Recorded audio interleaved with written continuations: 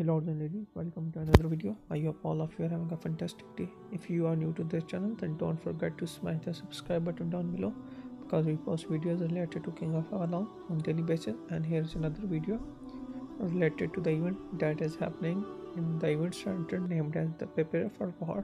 In this event, they give you these purple chest here, uh, and these are not very hard to get.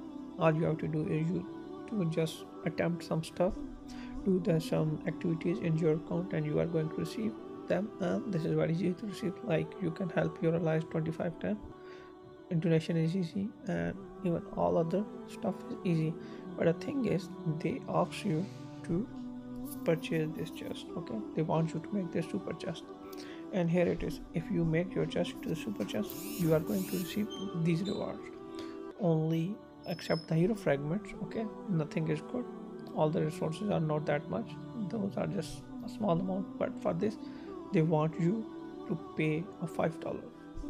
So is this five dollar worth spending on the super chest? I would say no. This is not worth spending on the super chest well if you are just playing this just open the legion chest and get some stuff. Well you are not going to get all of this stuff. All you have to do you are going to receive randomly one or two of this stuff or a certain amount. But you are not going to receive all of this 10 reward.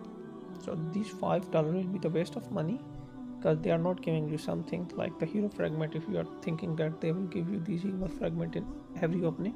So that is just a daydreaming okay?